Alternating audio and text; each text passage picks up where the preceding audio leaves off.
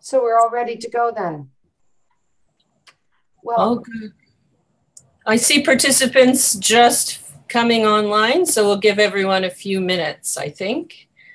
I'm sorry, how are you seeing them, Anne Barbara? There's a participants bubble at the bottom. Oh, there. Okay. All right. Got it. Yeah.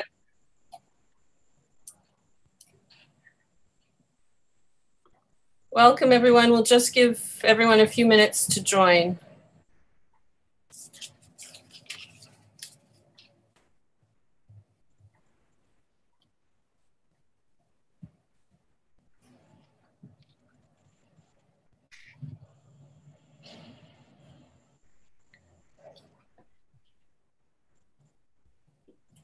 Welcome, everyone. We'll just start in uh, one minute, I think.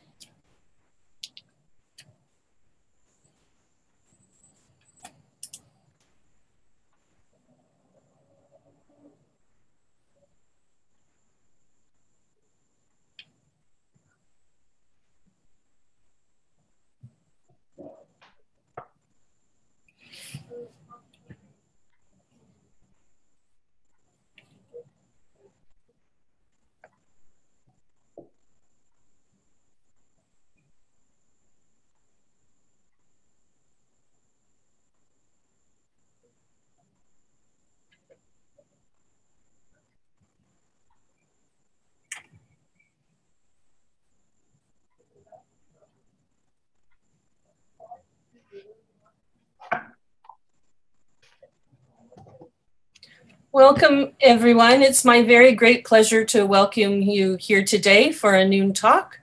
Uh, my name is Anne Barbara Graff. I'm the provost at NSCAD.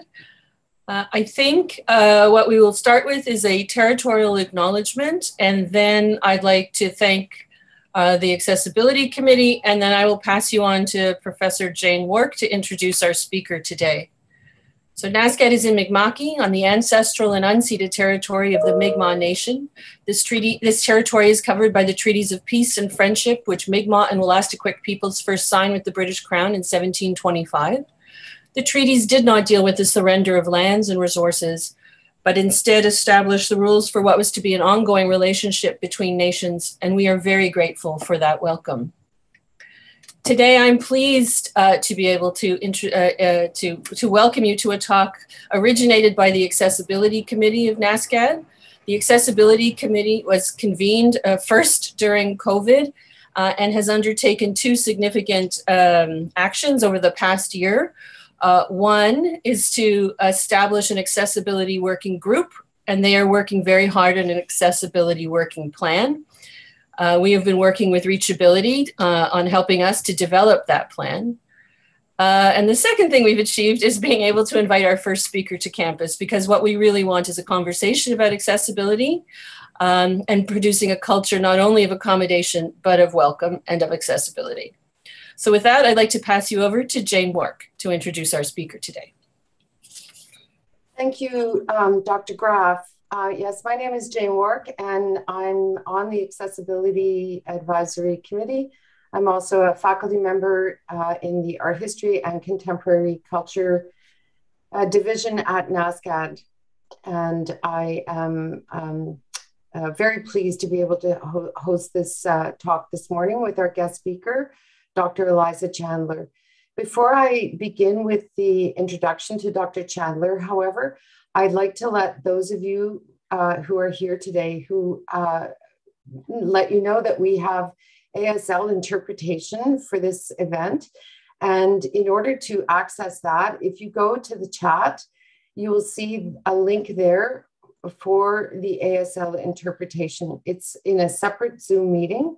And through that link, you will be able to both uh, hear Dr. Chandler, uh, watch the um, her presentation, and also um, uh, access the ASL interpretation. And if you have any technical support questions around interpretation uh, or anything else in that session, you can just email um, multi e email the multimedia um, person, which is Will Robinson. But uh, the email, or sorry, not email, um, you can send a chat, a message in the chat, um, to Will uh, through the multimedia name. I hope that's clear. Um, so yes, uh, this morning or now it's noon uh, here in um, uh, Halifax, uh, we are having this presentation by Dr. Eliza Chandler. The title of Dr. Chandler's presentation is Critical Inclusions, Disability Arts Practices Towards Cultural Transformation. Dr. Chandler graduated with her BFA from NSCAD in 2005 and then received her BA in art history from NSCAD in 2007. She received an MA from York University in Critical Disability Studies in 2008 and a second MA in Equity Studies in Education from the Ontario Institute for Studies in Education. That was in 2009. Dr. Chandler then earned her PhD in social justice and education from the University of Toronto in 2014. Dr. Chandler is currently assistant professor in the School of Disability Studies at Ryerson University in Toronto, where she leads a research program that centers on disability arts. This research interest came into focus when, from 2014 to 2016, she was the artistic director of Tangled Art and Disability, an organization in Toronto dedicated to showcasing disability arts and advancing accessible curatorial practice. Dr. Chandler teaches and researches in the areas of disability arts, critical access studies, social movements, and crip necropolitics. Perhaps Dr. Chandler will explain that term to us during her talk. Dr. Chandler has received many awards and honors, she is a member of the Royal Society of Canada's College of New Scholars. She participates in a number of research grants, including co directing the SSHRC funded partnership project called Bodies in Translation Activist Art, Technology, and Access to Life. She is also leading the SSHRC funded Insight Development Project called Accessing the Arts centering disability perspectives in accessibility initiatives. Dr. Chandler's talk will be about 45 minutes, which will leave us time for discussion afterwards before we wrap up at 1.30. The discussion period will consist of comments that you can put in the chat. And then I, because we're in a webinar format, we will have to do it that way. And I'll read your questions out for Dr. Chandler for her to answer them.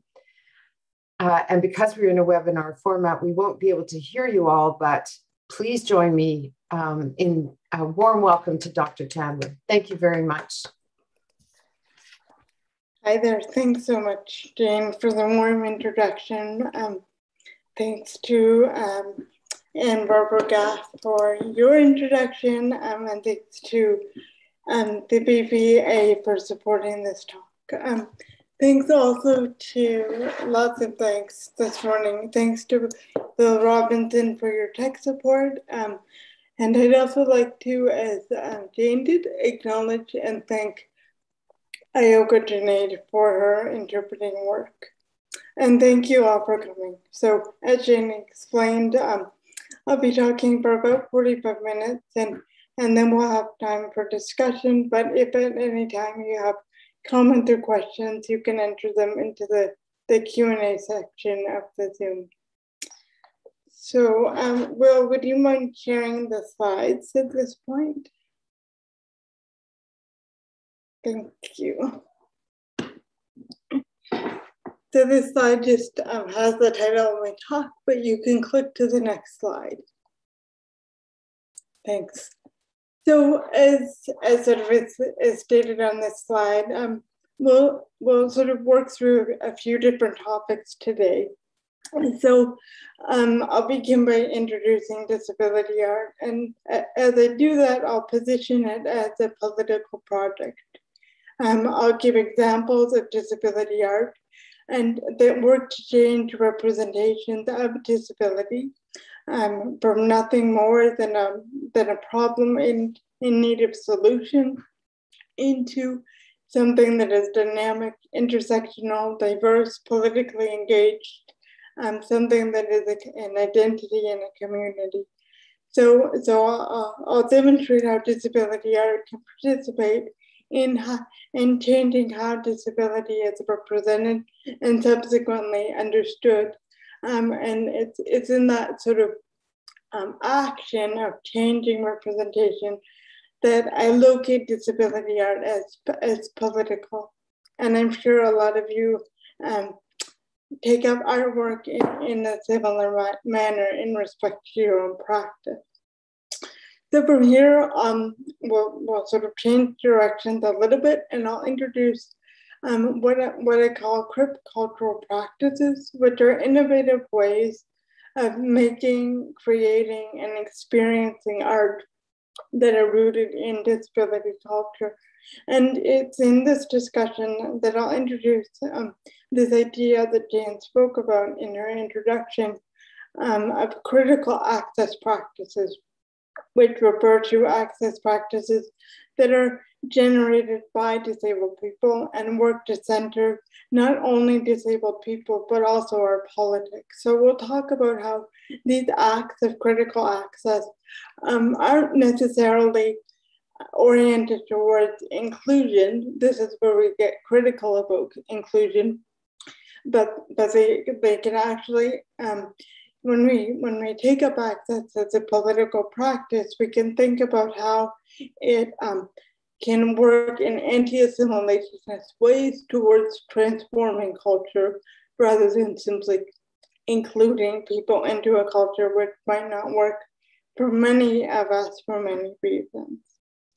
So that's that's what we'll do. And it's it's a bit funny not to be able to see or see you, but I trust that we're on the same page. So let's begin with just a couple um, sort of framing definitions of disability art. So you can click forward to the next slide, please. So as, as we'll sort of take up throughout this talk, um, there are many ways of framing disability art, and they're all contentious. Um, even, even the sort of basic definition that disability art is made by disabled people comes into contention when you think about how the word disability and the meaning of disability as being something other than a normative body um, is really mobilizes colonial logic. And, and so the word disability may not make sense um, as an identification category in other cultures, particularly indigenous cultures. So to say dis- disability art is made up of people who practice art and identify as disabled risks reinscribing colonial narratives on who we we um, identify as being part of us and who is not. So, so it's complicated as everything is um, in this talk and needs to be approached critically. However, I think it's important to have some um, common understandings about what we're talking about when we're talking about disability art. So I'm just going to read out these three framing definitions that are on the screen that I think um, help us understand disability art as a politically engaged pr practice. So the first, um, the first quote is it comes from a report done on disability art published in 2001. Um, and, and Abbas and her co-writers, um, they write, disability arts and culture marks the growing political power of disabled people over their narratives um, as disabled artists use it to counter cultural misrepresentations, establish their disability as a valued human condition, shift control to disabled people so they might shape their narrative and bring this disability controlled narrative to a, wider audience. Kirsty Johnston writes Disability Arts is a challenge to um, an undermining of, at a minimum, traditional aesthetics and social value. And finally, Catherine Frazee, who lives right now um, outside of Canning, Nova Scotia, in Baxter's Harbour. She writes, not all of disability art is explicitly about the disability experience, but all of it, I would suggest, springs from disability experience, and to be fully appreciated must be seen and heard with all of its historic and biographical resonances. Um, so those are just a, a, few framing concepts, ways of conceptualizing dis disability arts. So if you, you could go to the next slide, please. To the next slide, um, so, so now we're gonna think, sort of think with this radical transformation um, possibility that I think disability arts can engender. So this this is some work by disability artist Jes Sachse um, in, in collaboration with Holly Norris in 2011. Jess created this series called American Able. Um, for people like myself, um, the, the aesthetics in this work are quite familiar. They resemble um, American apparel ads, which used to be ubiquitous, but now um, they're a bit obsolete. So for those of you who, who may not know this work, this was, uh, sorry, may not know the original advertisement. Um, uh, American Apparel ads were featured sort of all over. I remember them at the, at the back of Coast um, magazines and Now magazines in Toronto, um, billboards, bus stops, things like this. And, and they typically featured um, a normatively beautiful cisgendered woman, um, thin and, you know, possessing all of the, the markers of normative beauty, um, sort of dressed in American apparel, um, apparel um, like dresses, and um, and they were positioned oftentimes to be sort of um, docile and, and and highly desirable. So Jess um, inserted themselves into this sort of conventional at the time trope or, or aesthetic. And Jess is not who you might typically meet in these um, advertisements. Jess is a white, genderqueer, um, noticeably disabled person. And uh, these photographs were featured in the Contact Festival in Toronto which places photography in, in public, um, publicly facing venues such as billboards, bus shelters, street facing vitrines of galleries, and things like that. And one of the places that this work was featured was um, on the LCD screens of um, the TTC's, the, um, the, the subway stations in Toronto. So, and these were these are spots that usually would feature um, American apparel ads. And so I, I think about the subversion within this work, and I like to sort of imagine someone on their way to work um, on the on the subway, and sort of at eight thirty in the morning, bleary eyed, um, sort of looking sort of this image of what they might think of as an American apparel ad catches their eye and they look up towards it. And instead of seeing the kind of body they might typically see and might typically um, have their desire satiated or, or feel desire for this body, instead they see this um, sort of unapologetically different kind of body staring staring back at them.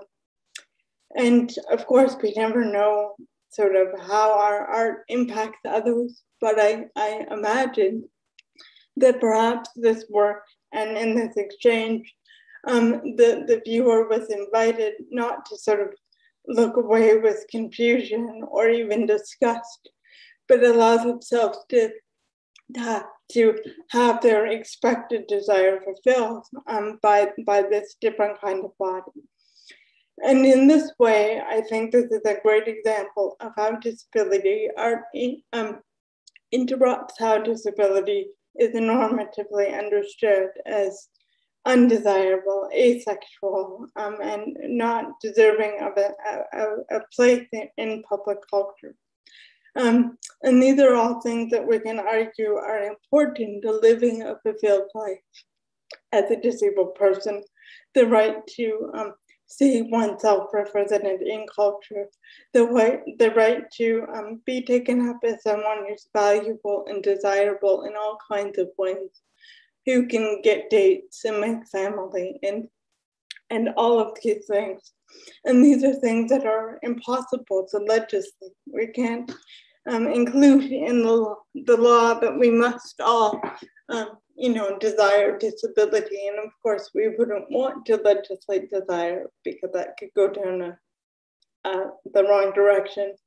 But still, it's undeniable. These are things that, that we all that you know lots of us lots of us want. Um, so in this way, I think art has a capacity to, to forward these kinds of understandings in a way that policy, legislation, even writing newspaper articles and academic journal articles cannot.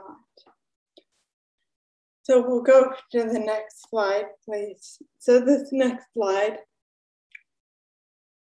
is an image from um, deaf artist Christine Sun Kim, and it's part of her Sound of Silence series.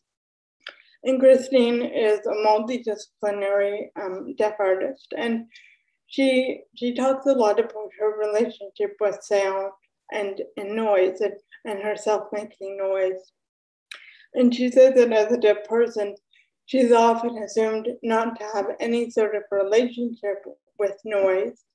But on the other hand, um, as a child, she was always sort of scolded for making too much noise, walking too heavily, and even making sounds with her, her mouth and, and things like the sounds that she, she couldn't hear, but she was responsible for controlling. Um, so this work, she, she wanted to think about the creative potentiality of, of noise as a deaf person and to think about the different um, different possibilities for, for engaging with sound other than through through one's auditory senses. So she created these devices. So you see her kneeling over and de- deconstructed speakers that are connected to amps. And she's hooked up a microphone. You can see her holding this microphone. Um, and she's creating noise uh, through an input into the amp through her breath and, and making sounds, which causes the amps to, to move and to vibrate with the motion of, of the sound waves that she's creating. And on some of the amps, she, she places um, blank canvases on top of them and on top of that, she'll put pools of paint or, or a pencil or a stick of graphite. And then by causing the amps to, to vibrate with her noise, it causes the writing, the writing utensil to, to move around and to, to create art in that kind of way. So this work isn't necessarily about the, the visual artwork that it creates, it's a performance and it's meant to um, have people think about the different kinds of ways that being in bodies differently um, can generate different kinds of creative practices. Um, to, and I think this is a great example of sort of the innovativeness that comes out of um, be, being in, in, a body differently and how we can think about that as, as creating artwork. So the next slide. Um, so Christine Sun Kim is a prolific artist. Um, she's now featured sort of all over the place, including she, she makes these um, beautiful billboards that appear throughout the states. Um, leading up to the 2020 um, American election last November, she created lots of signs using finger spelling that spelled out vote to encourage people to vote. Um, she's created a, a huge LCD um, animation in Times, featured in Times Square that thanks the, the frontline workers in ASL, um, and that was in response, of course, to COVID. Um, and this work is called The Sound of Tem- Temperature Rising. And then on the billboard it says nonstop, and that's crossed out, and it says forever. So um, obviously she's, you know, making work about more than just her deaf experience. Um, she's quite socially engaged. The next slide. So this is an artist named Carmen Papalia who identifies as a non-visual learner um, and also he, he's blind. Um, and he works of uh, Vancouver. So Carmen Papalia, um, as a blind person, navigates the world with a white indicator stick that you might typically see blind people using. Um, and he recognizes that, that that ensures his safety getting around the world but he's also not comfortable with what the stick represents. It's tied to um, the Canadian National Institute for the Blind, with, which has investments in rehabilitating people, but also in a more ideological um, perspective. He, he, he takes issue with the fact that the white cane is designed to um, allow him to navigate a world that wasn't built for him in mind. It also indicates to other people that he is someone who needs help. So he, he talks about how, you know, the white cane makes him a spectacle in which people come up to him and, uh, and helpfully move him in different directions that he wants to go. So he takes up his art practice. One of the things he takes up in his art practice is thinking about different ways sort of fantastical ways that he could navigate the world um, in ways that sort of respond to how he, he sensorially navigates the world. So, as part of a residency in Portland, Oregon, uh, Carmen decided, wouldn't it be fantastic if I could navigate the world without my white stick, um, with using um, uh, my my hearing auditory senses instead. So we hooked up with a high school marching band you see on the slide, and together they worked out a score which would safely help them navigate the city. So they worked out visual cues for things like turn right, turn left, stop, um, and also if you have a clear path, you know, feel free to walk speedily, things like that. Um, and so this work is called mobility device. And if we had more time, I would screen um, the, the video, but it's copied there and on the YouTube uh, link, but you can also just type in Carmen Papalia into YouTube, a mobility device into YouTube, and, and you'll find it right away. And it's a really joyful um, performance. And he said, you know, after when, when he's reflecting, that, uh, you know, he's always a spectacle as a blind person on the street. And this day was no different. He was still a spectacle, but for, for reasons that he, he was in control of and, and determined. And, and he spoke about how, you know, quickly he could walk around um, and sort of the, the sense of joy and also security that came from this performance. So I think this is, again, a really beautiful example of how artists can, can use their practice to intervene in access issues, for example, and put forth these sort of ridiculous notions for what a mobility device could look like and what a world would look like that, that held that mobility device. Um, and it, but at the same time, that it is sort of fantastical and ridiculous.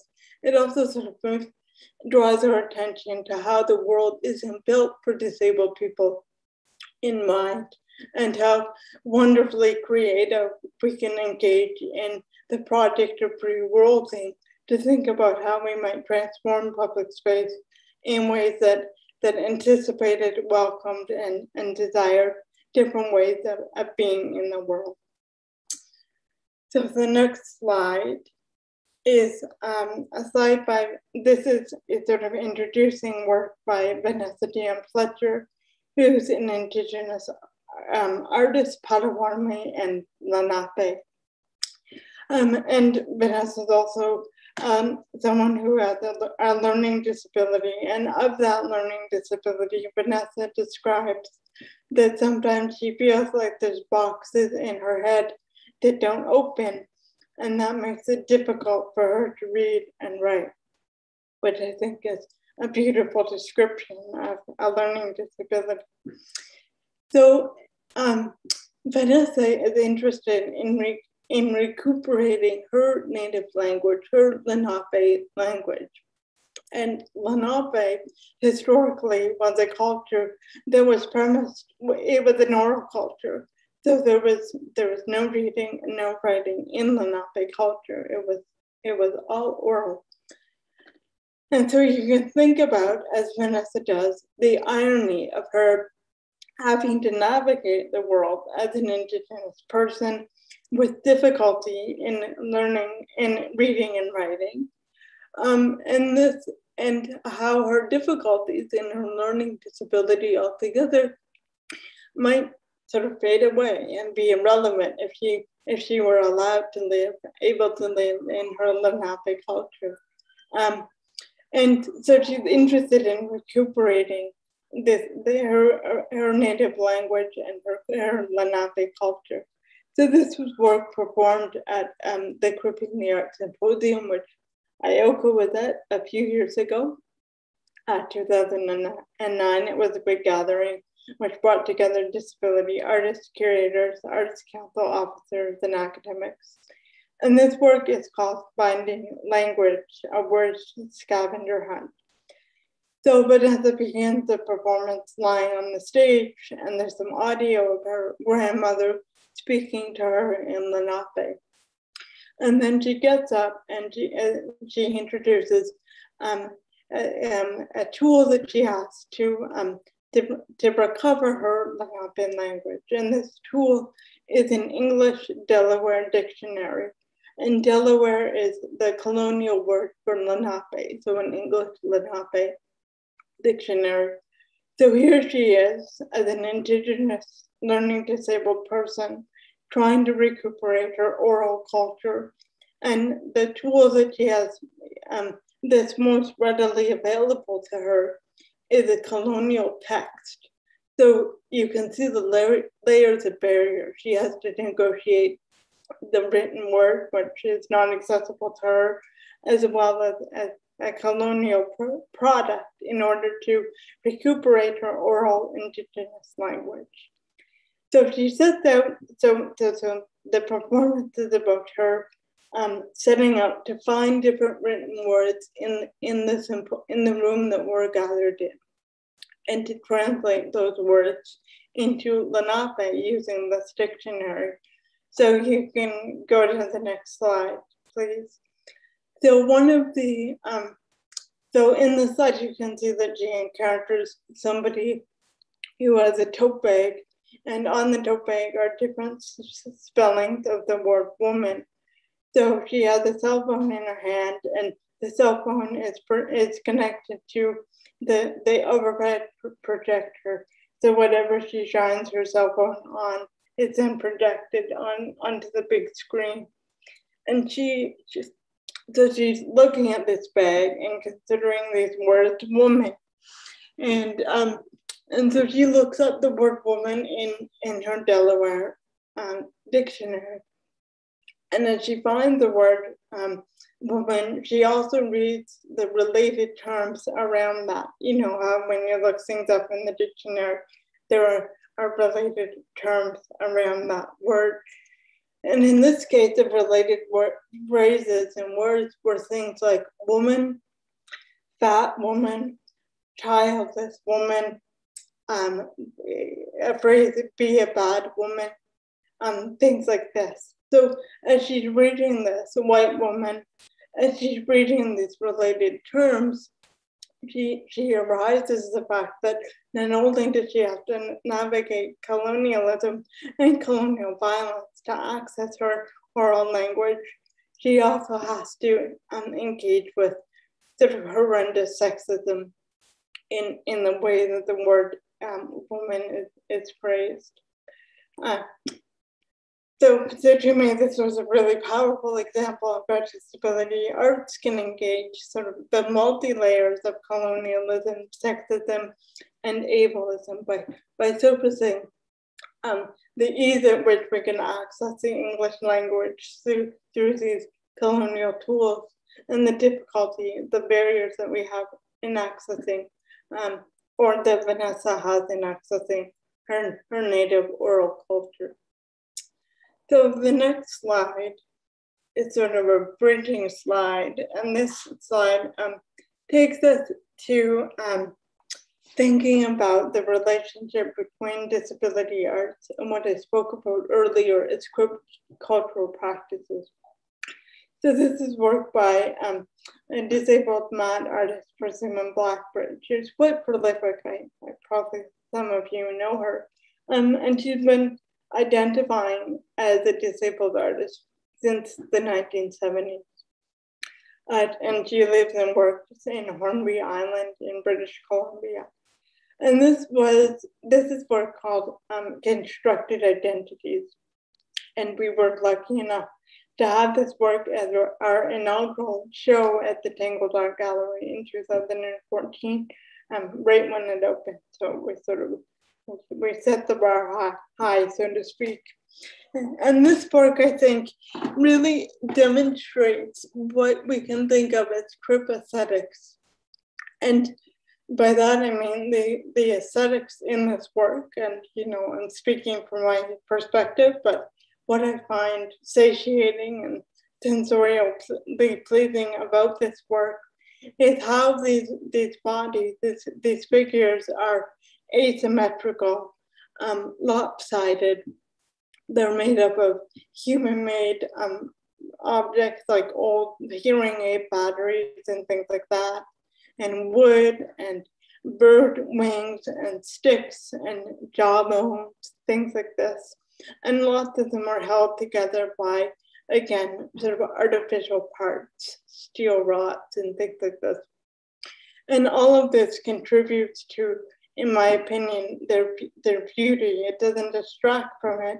It helps us understand the way that disability and and embodied difference in general can can lead to sort of beauty and satiation and aesthetics rather than distract from it.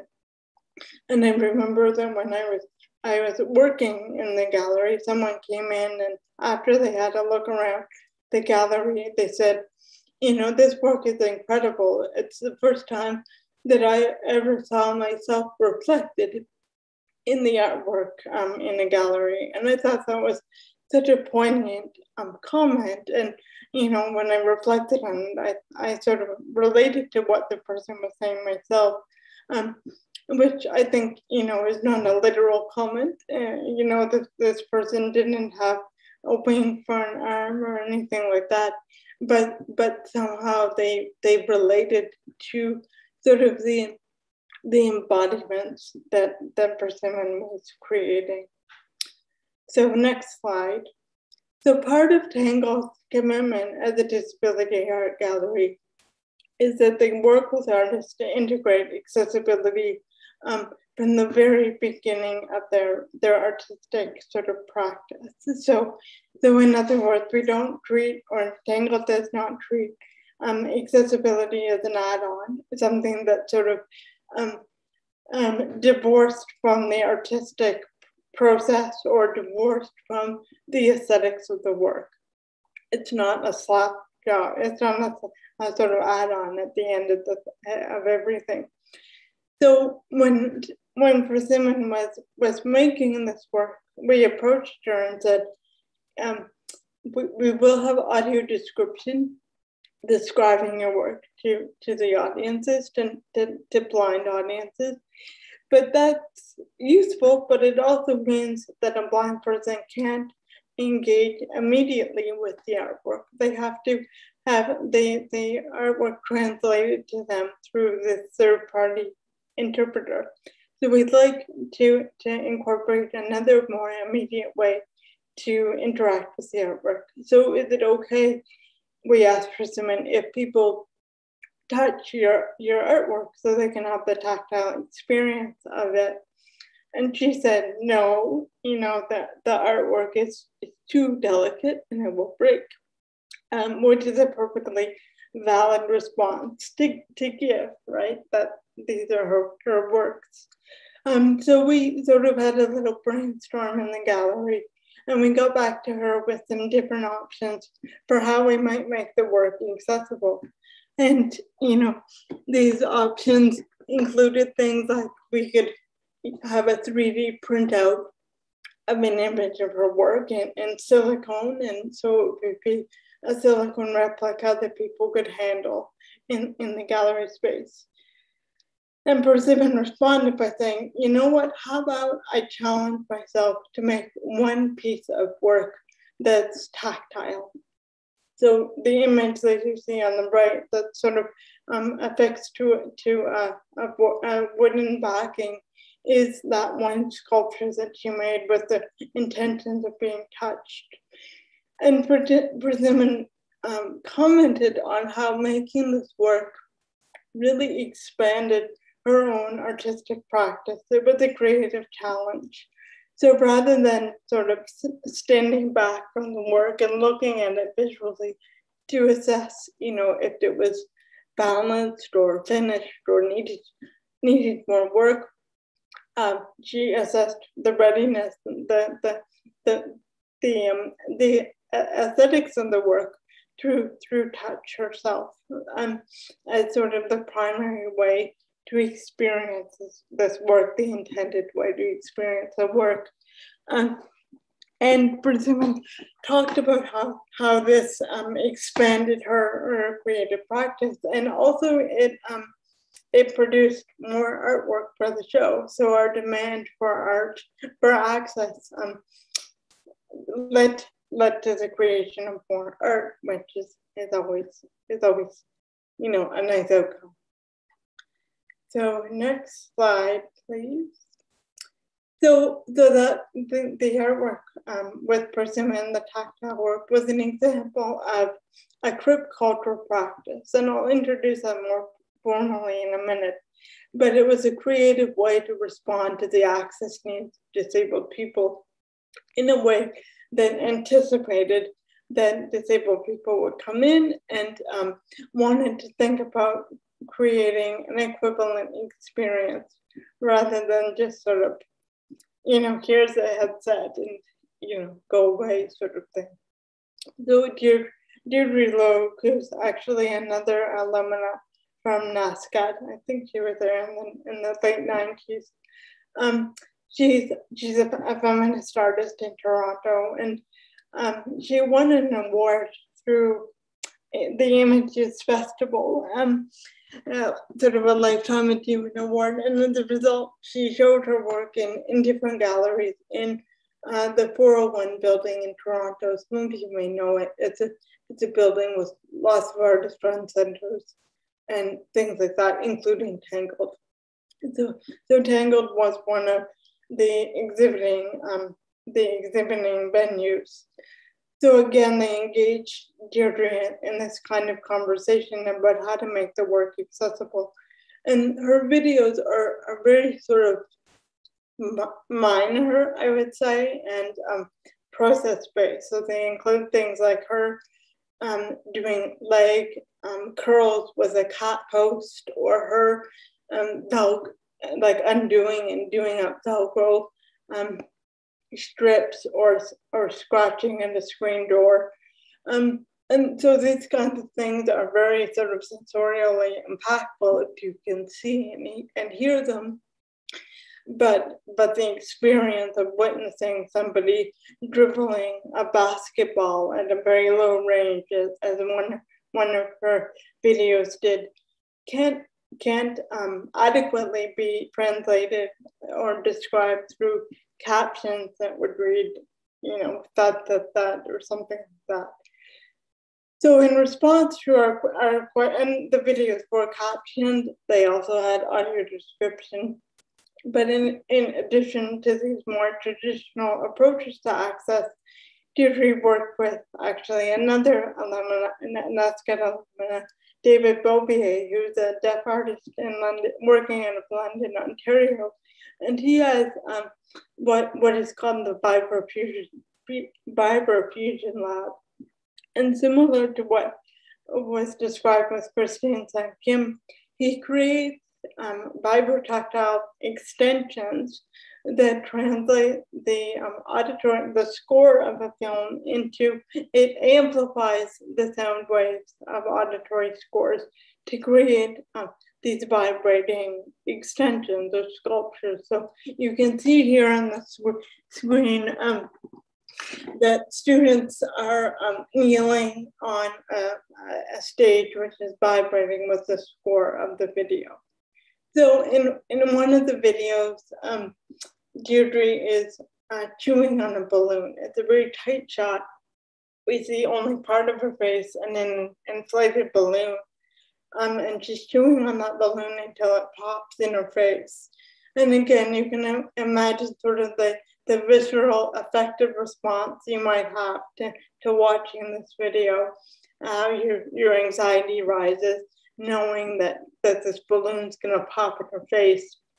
Um, so so to sort of translate that into another sensorial experience, she and David created a pillow, which was, I think was more of a, a, prototype than anything else, but it was meant to be sort of replicate a balloon that you could hold near your chest or in your lap, and it would vibrate, and the vibrations would increase as the tensions increased, and eventually this this pillow would sort of erupt in your in, in on your body, causing the same sort of emotional response.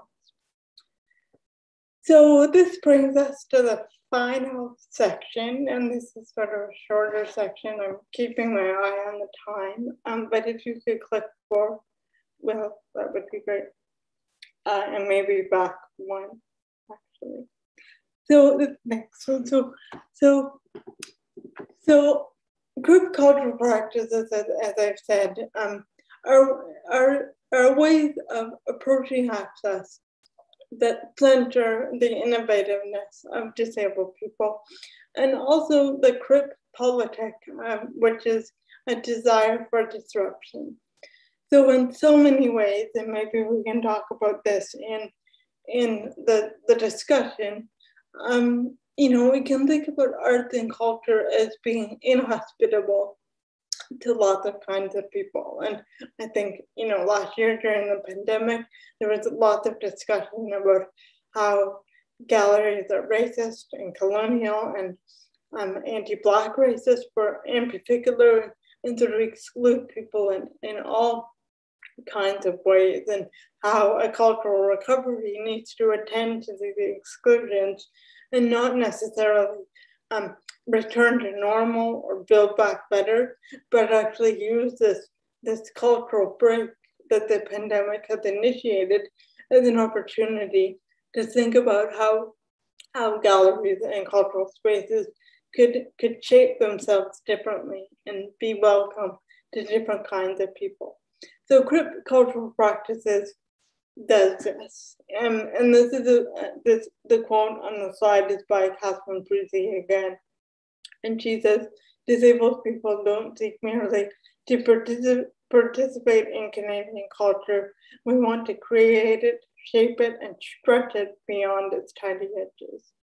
And another way of thinking about this, or another reason for thinking about this, is, is to acknowledge that, that there are infinite numbers of ways to be embodied.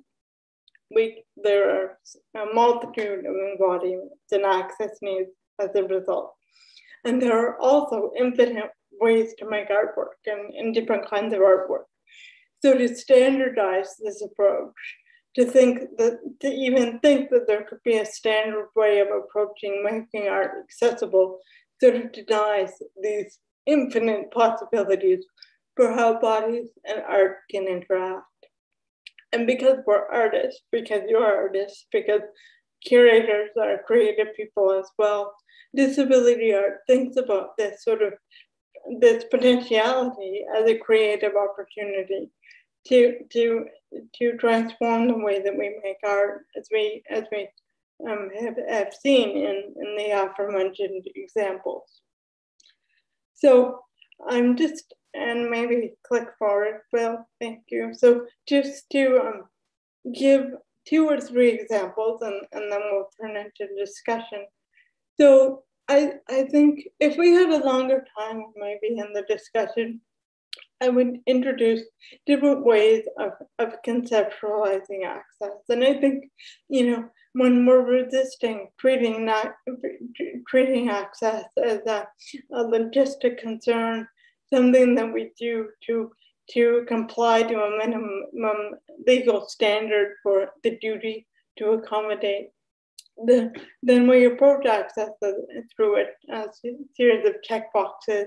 You know, does the door have a does it, does the door have a an access button? Does the, the do the stairs have an accompanying ramp? Those sorts of things. Um, but um, we also have this notion of um, a critical access framework, which is um, a framework for thinking about how access is, is political work um, that's introduced by a scholar named Aimi Hamraie. So, so, so they sort of encourage us to recuperate access from its bureaucratic holdings and think about how access could, could actually work towards one size fits one solution. So, so how access can be determined and shaped and influenced by the experience of disabled people rather than be, being motivated through by this neoliberal idea that good access makes things better for everyone. Because when we approach access in, in those kinds of ways, we miss people, right? So if we only hire ASL interpretation because somebody's requested it, then we then we miss the opportunity to foreground accessibility to make our our, our events accessible um, through again a desire that deaf people will show up. Um, so so access becomes logistic. It becomes sort of a chore rather than an opportunity to be invitational and to center disabled people, as um, Aimi, Aimi Hamraie encourages us to do. So, and I wanted to give an example about how this approach to access, critical access, can, can inform the kinds of art that we make. So on the screen is um, a piece called um, from a piece by Shannon Finnegan from her series museum benches. And Shannon is someone who, who needs to sit down a lot when she's at, at the gallery. Um, and so when she's invited to produce work, to, when she's commissioned to produce work for galleries, what she does is she com- she produces these, these benches, like the one on the screen, that reads, um, this exhibition has asked me to stand for too long Sit if you agree. And in an interview between Hamraie and Finnegan for American Art in 2019, um, they talked about these bunches in, as inviting um, participa- participation as an embodied argument um, to make a political statement. So these bunches are quite different than sort of these discrete little foldable stools that you might get at a gallery or a museum and have to sort of haul around with you and open and close. Um, and these kinds of ineffective ways of administering access, I would argue, aren't dedicated to making the gallery accessible. Instead, they're dedicated to meeting the minimum requires, requirements that they're legally obligated to do while leaving sort of the, the ableist structure of the, the gallery intact. So access is dismissible. It's it's um, it's um, inconspicuous. Um, and how different it is to have these sort of bold statements that this bench is is in resistance to to an able-bodied expectation that the gallery the gallery projects. And here's here's an intervention and and we invite you to participate in it as well. The next slide, please. So the next sort of access way of thinking about access that I wanted to introduce. Um, how am I going to start this? No, sorry, started in, in a different way. So, okay, sorry. I'm sorry, I'm just a bit mixed up. So, so the next access framework that I wanted to take up is this idea of extensibility, which comes from Albert Jimmy, who's a free artist working at Guelph, Ontario. And when asked to participate in a roundtable discussion on what, what accessibility is, um, Jimmy sort of came up with this framework of extensibility. And he says extensibility, um, um, so sorry, um, sorry, I'm mixed up, but now I'm back on track. So um, he, he began this sort of thinking about extensibility um, by taking interest in how we very seldom question what accessibility gives us access to. And as someone who's Indigenous, Cree, and disabled, he, he makes an observation about how um, cultural institutions commit to access in a similar way that they commit to decoloniality. And he uses this, this metaphor of a land acknowledgement, how, you know, every gallery under the sun in, you know, this north part of Tur- Turtle Island begins their event with, with a sort of standard or maybe maybe attenuated land acknowledgement. But then that's that. Then then we move on and carry on with our colonial ways of administering and experiencing culture and hoarding indigenous artifacts and all of these things. So what's at the statement, but it's not a commitment to do things differently in the in, in the cultural space. So he, he, he suggests similarly that that's how cultural institutions take up access. They they sort of commit to it on a surface level, but they don't think about sort of dismantling the, the ableism and the inaccessibility that holds these institutions together, similar to how we're sort of resistant to, dismantling the colonialism that that that provides the core of, of these cultural institutions in which we all live and work. I mean, NSCAD, um, my university, X University, formerly Ryerson University, Tangled Art, like these are all colonial spaces. Um, so I would and, and sort of suggest that because access is um, is directed towards finding our way into these spaces, access can either confirm these spaces and say, yeah, these are great spaces, we want to be in them. So let's find ways to, to allow disabled people to be in, in these spaces. And in so doing, we give access to participating in the same kind of cultural violence um, that, that these spaces have, have always been participating in. Or access can be an opportunity to sort of change the way that these spaces operate um, by, by using the tools that, that, that we have available to us in these cultural spaces.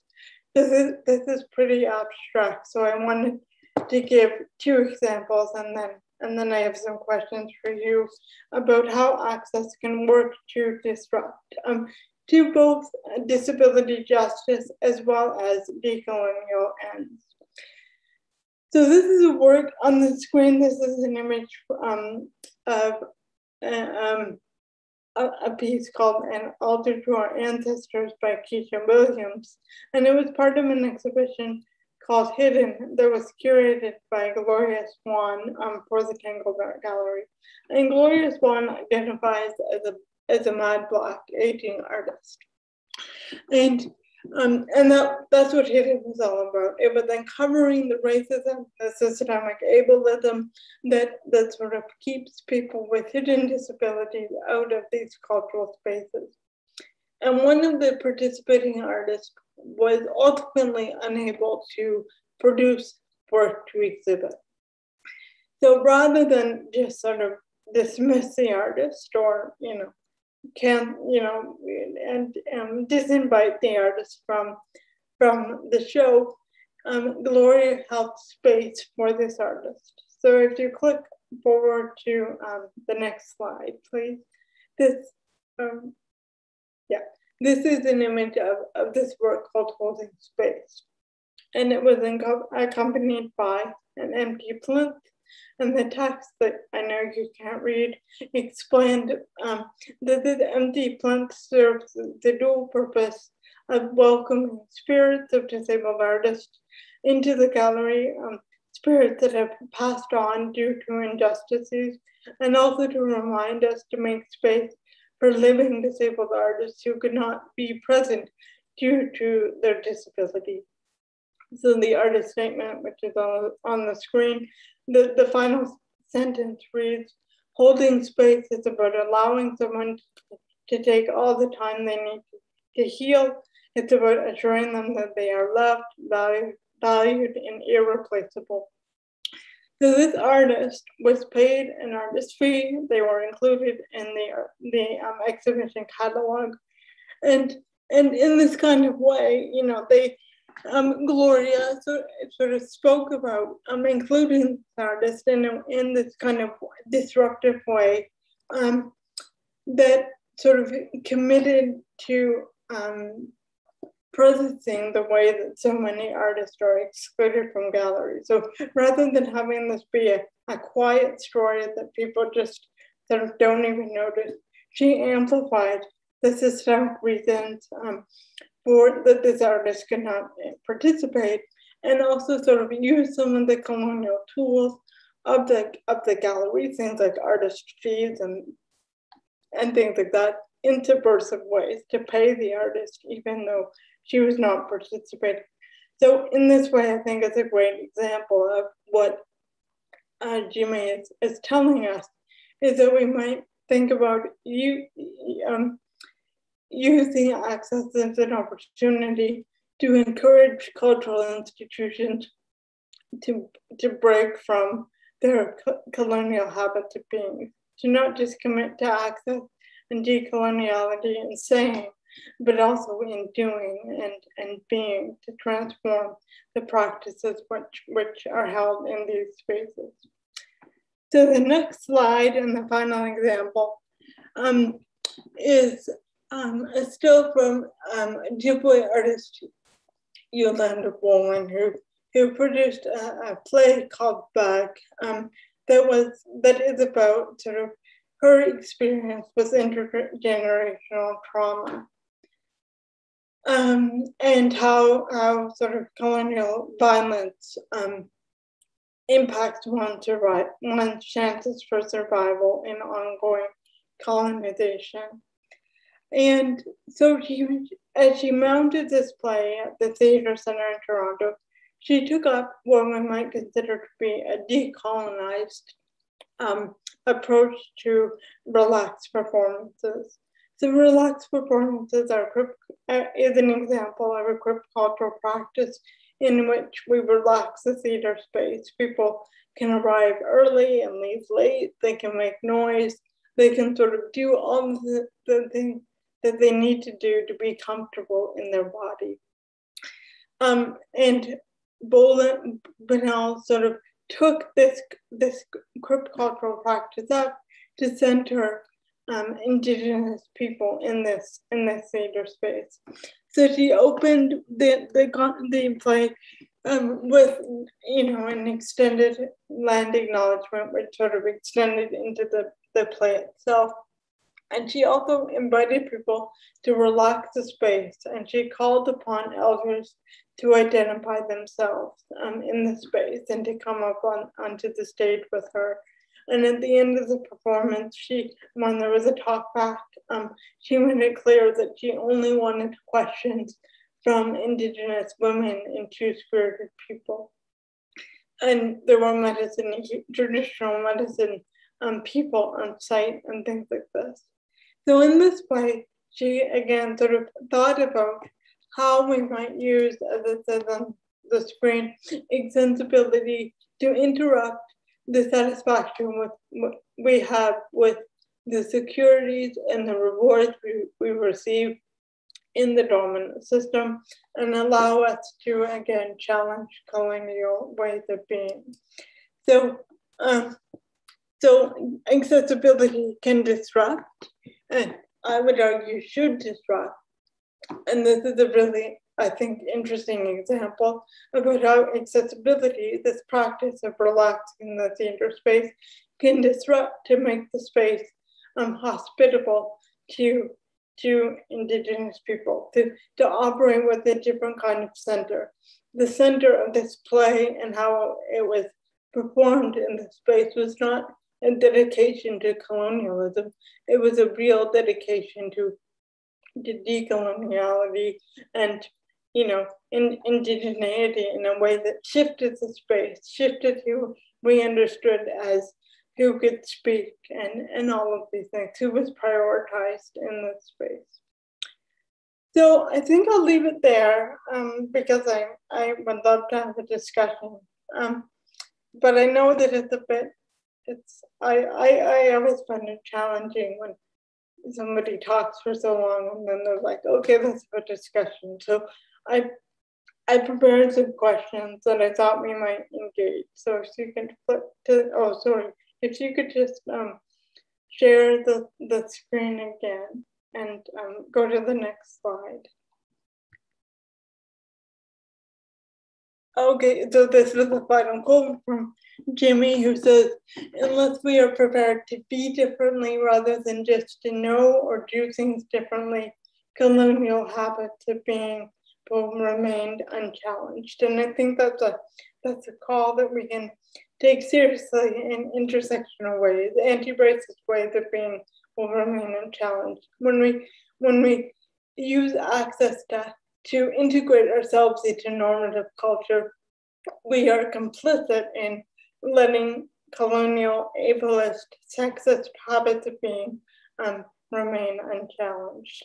So if you could click to the next slide, actually maybe maybe two slides. Then yeah.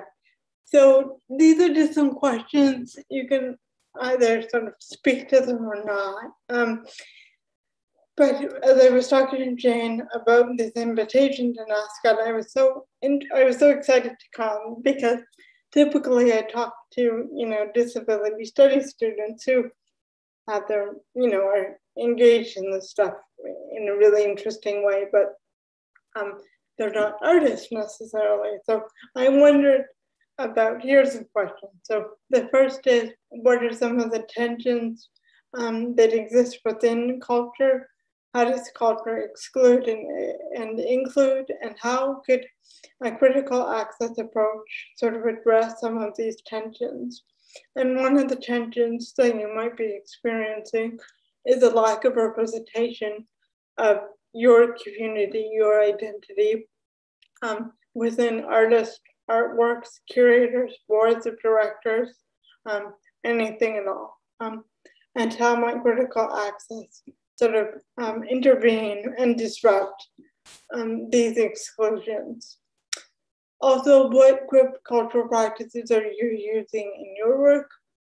Um, and thinking about how access, thinking about access is facilitating interaction between people and art how might you make your work more accessible by um, using crip cultural practices or even innovating new ones? How are you doing that already? And I'd be happy to sort of collectively brainstorm if, if you have a, a sort of tension that you that needs to be addressed. And yeah, maybe I'll just leave it with those two. But okay, that's it. So very happy to have a conversation at this point.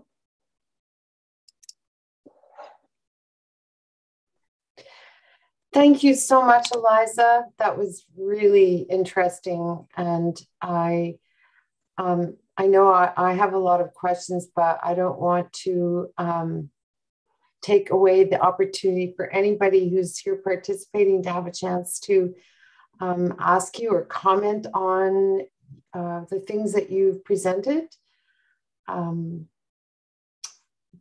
and you can type your comments in the chat and I will we already have by the way, Eliza, you may remember this from being a student at NSCAD.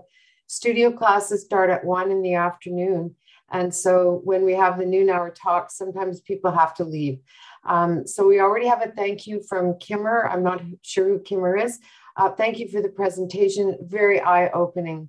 Um, so that's our first comment um, to you. But maybe just to warm things up, could I ask you to um, elaborate a little bit on something that you said, which um, was when you were talking about uh, providing access like to everyone. And I, I assume you meant kind of universe, you talked about it as a neoliberal concept.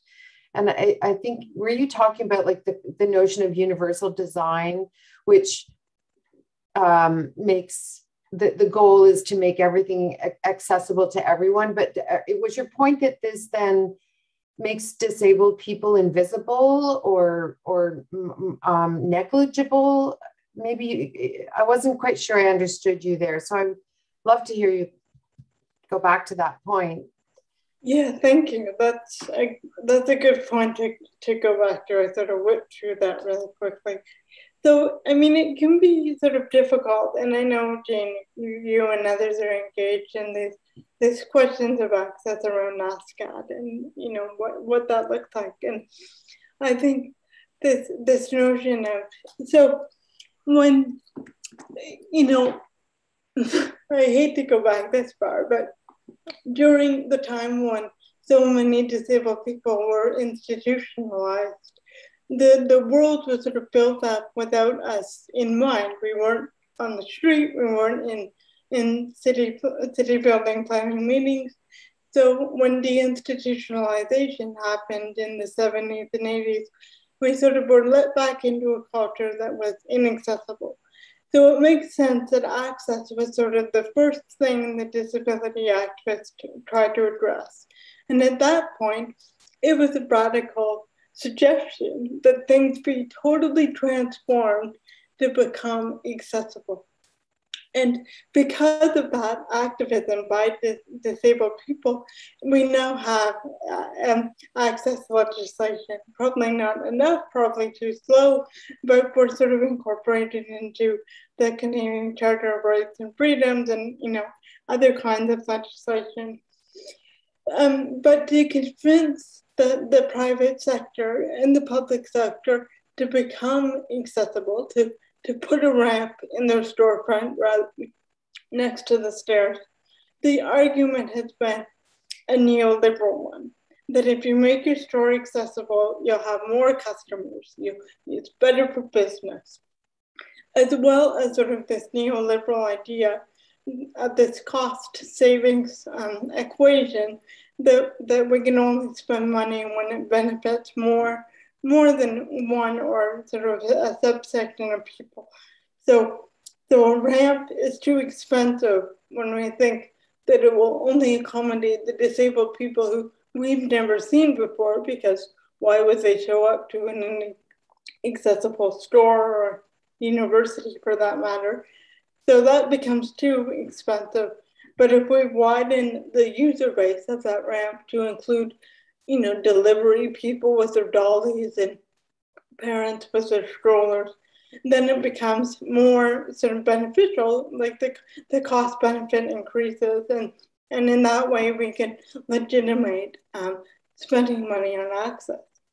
And that's sort of the impetus of this idea of universal design if you make things accessible, it's better for everyone. And of course, that's absolutely true. But it also decenters, as you were saying, disabled people. It doesn't recognize disabled people as having wisdom um, and creativity to sort of think about how to address access issues.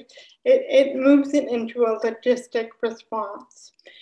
And the other thing that it does is it sort of like there are all kinds of ways that we need to make things accessible that don't benefit everyone right ramps fine that's quite easy but if we think of you know integrating tactile artwork into a gallery um, that that doesn't necessarily benefit everyone or even captions on videos i hear the argument all the time that captions on videos distract from its aesthetic, I would do it, but I just hate the way it looks. Things like this.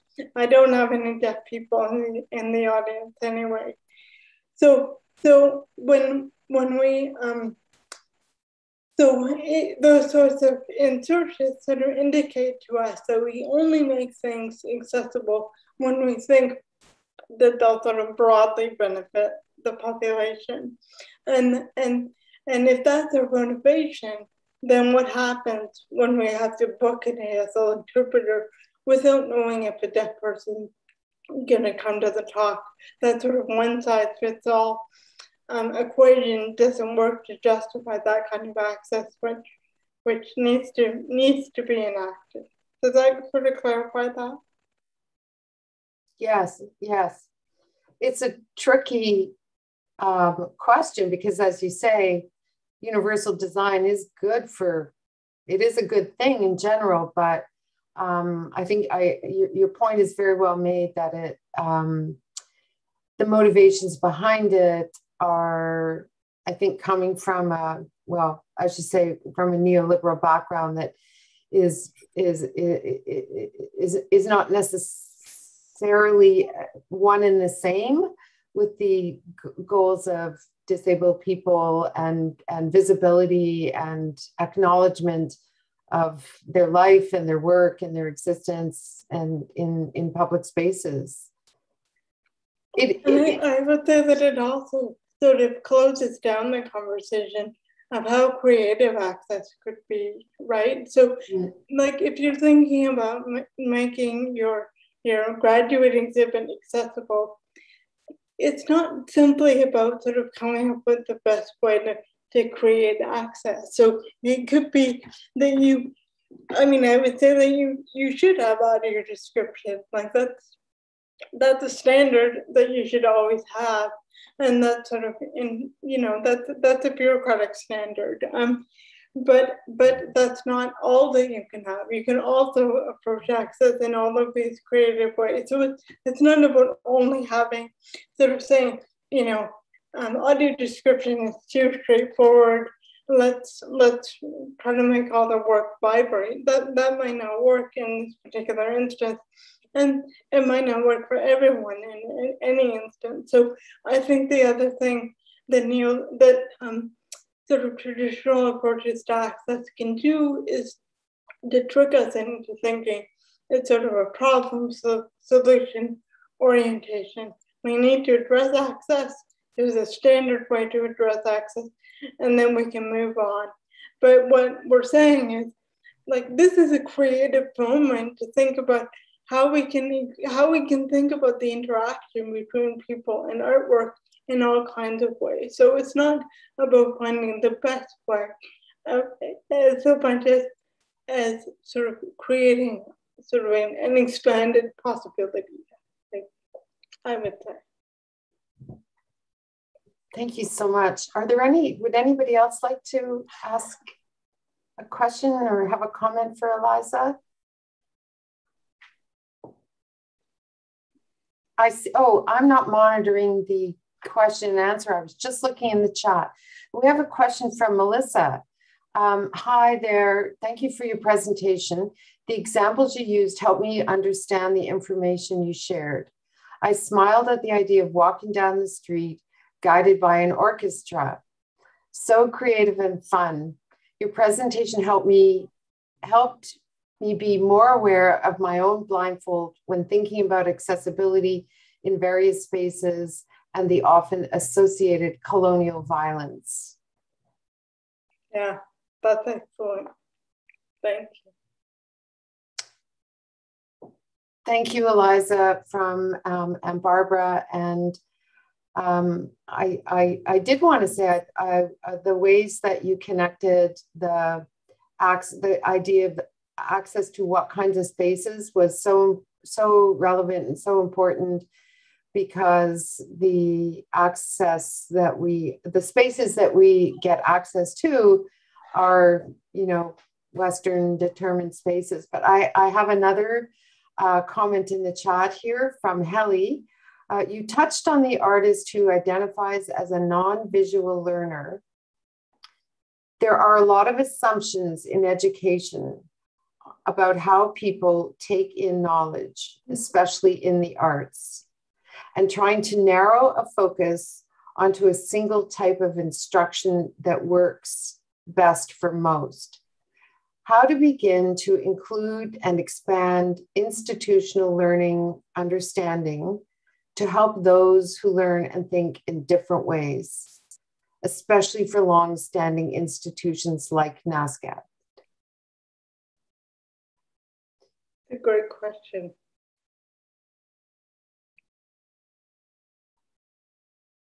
Do? I'm, I'm just thinking. I, I, I, I think um, it's such a great question. And I think what you're, you're sort of highlighting in a really nice way is, is that we assume uh, that the people show up in our institutions um, will sort of be able to easily manage the way that our institutions are laid out. Be able to figure out how to sign up for classes, to get to class, to participate in class, all of these things. And and to, to work in this sort of hyper productive way, although I had a really nice time in NSCAD, but you know, another educational experience is that, you know, it's so hyper productive. You have to produce, produce, produce to get an extension on an exam. You you can't just tell your prof that you need more time. You have to get a doctor's note. You have to get sort of a medical authority to legitimate your access requirement, which is a whole other conversation to be having. Um, but I think these kind of kind of um, tensions um, indicate that you know the way the institution is set up um, benefits the status quo, right? And I say that about my institution all the time. If people are expected to be able to easily um, get into the institution, perform, and, and get out in, in a normative way. Um, and, and anyone who doesn't sort of comply with that standard or, or needs to do something different, it's always approached in an individual manner. So back to Carmen and his his his predicament of mobility devices, if we can use that to for a metaphor, the solutions that we offer people who don't quite fit into the institution are more akin to a white cane. You know, stay out of our way. Here's here's something that might help you navigate this system that isn't built for you, but it, it allows us to leave the system intact. And what would happen if we use someone who was sort of a misfit, misfit with the institution, as instead an opportunity to to think about what what is it about these long classes or or expected late late nights of work or high tuition or, or the fact that people have to separate from their families and their their First Nation reserves in order participate in university education? What if we use these sort of moments of tension or conflict as an opportunity for productive disruption in ways that could reroute the university? I feel like I'm not quite making sense, but um, to put it simply, rather than treating sort of a disruptive presence as sort of an individual problem then we need to address on an individual level by giving someone a white cane, for example. What what would happen if we we um, approach that instance of disruption as an indication that you know maybe the, the institution as it's set up eh, doesn't work for everyone, and rather than allow someone into the space, how can we how can we shape, reshape this space in a way that sort of anticipates and welcomes different ways of being. And I would say that's sort of more akin to sort of the marching band approach of disrupting the space altogether. But it's a great question. I mean, we could we could think about examples of what that might mean.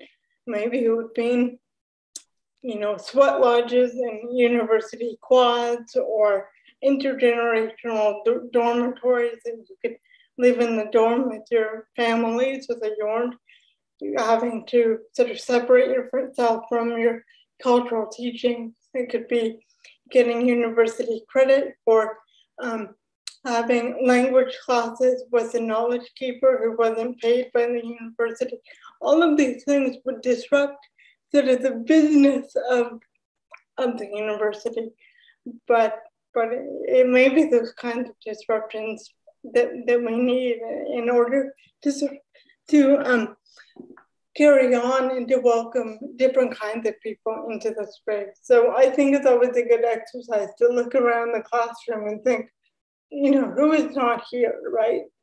Like, where are my disabled, deaf, indigenous person, you know, First Nation students? And if they're not here, why are they not here? And how can we sort of um, work towards changing the space to, to, in a way that makes it more sort of welcoming um, to, to difference like that. Thank you so much, Eliza. Um, we have a couple more, I think, comments more than questions. Um, and this may be a kind of good way for us to wrap up um, because it's a big thank you to you. Uh, thanks a lot. This is from Meg Dorward, who is also on the um, accessibility committee. Um, so, yeah. Um, uh, she's also an MA student uh, at NSCAD right now. So Meg says, thanks, Eliza. Very eye-opening I love the piece holding space, um, personally identifying as someone with an invisible disability. This piece was very hopeful and caring and sheds light on how I would bring ethics and care to my own curating practice.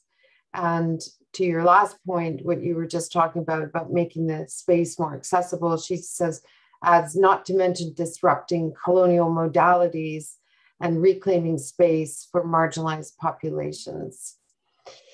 So you've given us so much to think about today, and um, I, want to thank you very much. And uh, I would also like to thank um, and, and, Barbara for helping make this uh, possible through the uh, and, and the accessibility committee. And I would like to thank um, Will Robinson in multimedia for, uh, as usual, your always fantastic, reliable support. And I would also like to thank Aoka Junaid for her um, amazing, incredible um, uh, ASL interpretation. And so I think that we will, unless there's anything else, um, thank you so much, Eliza. Thank you all. It was great to be here. Thanks, Jane, for all your organizing work and Will and, and Barbara. It was great. Thank you. Let's Talk soon sometime. Bye.